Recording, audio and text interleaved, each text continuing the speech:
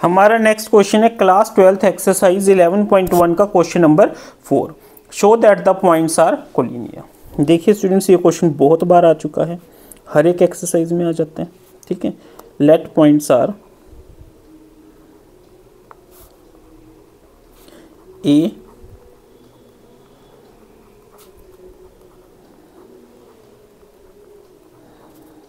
हमने इन पॉइंट्स को एक नाम दे दिया ए बी सी और हमें क्या करना है? इनको कोलिनियर सपोज़ हमारे पॉइंट्स है ए बी और सी देखिए स्टूडेंट्स हमने पहले भी ये क्वेश्चन वेक्टर में भी किया है।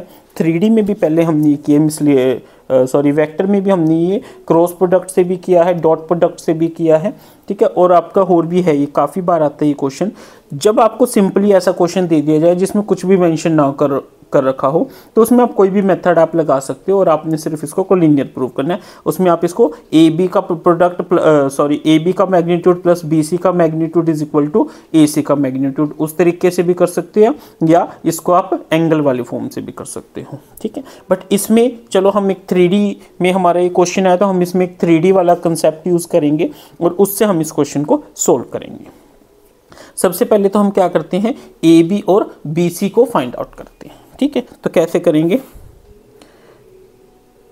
A B is equal to A B क्या है हमारा?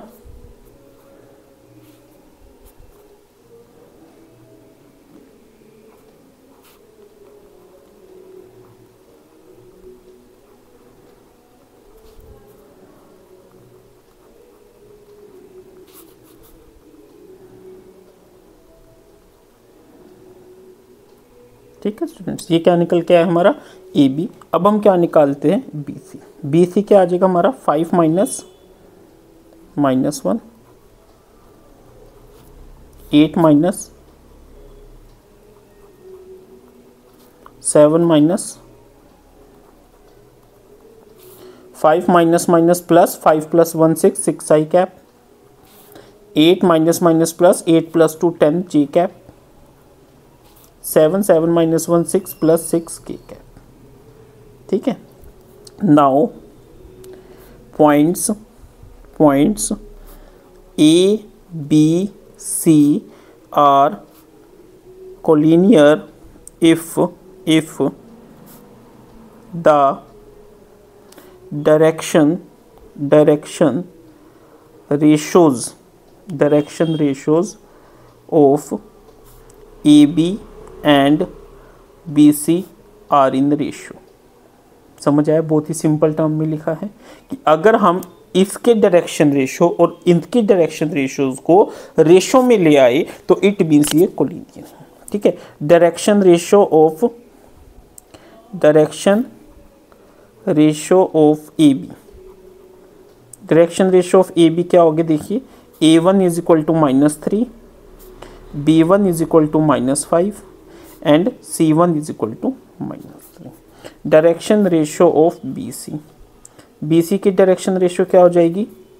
A one is equal to six sorry A two B two is equal to ten and C two is equal to six now अब हमने क्या करना है? A one by A two calculate करना है, जो कि किसके इक्वल आया?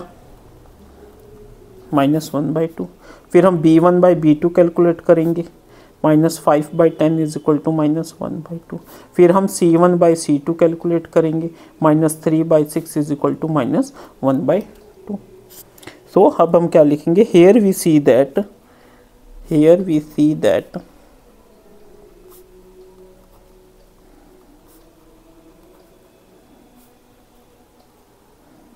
ये हमारा क्या आ गया? इक्वल आ गया। किसके इक्वल आ गया? Minus one by two. As as the direction ratios of direction ratios of AB and BC are in ratio equal ratio equal नहीं equal word नहीं हम लगा सकते in ratio therefore A B C are collinear ठीक है students इस तरीके से आपने इसको लिखना है